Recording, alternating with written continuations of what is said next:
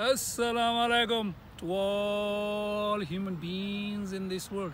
If you want to show the world how great your philosophy, religion, or way of life is, then you must make yourself so great by following your philosophy, religion, or way of life that the humanity is amazed at you. For more knowledge, you can download all my life-changing ebooks from Amazon. Assalamu alaikum. Take care. Be good to yourself, your family, and all other human beings.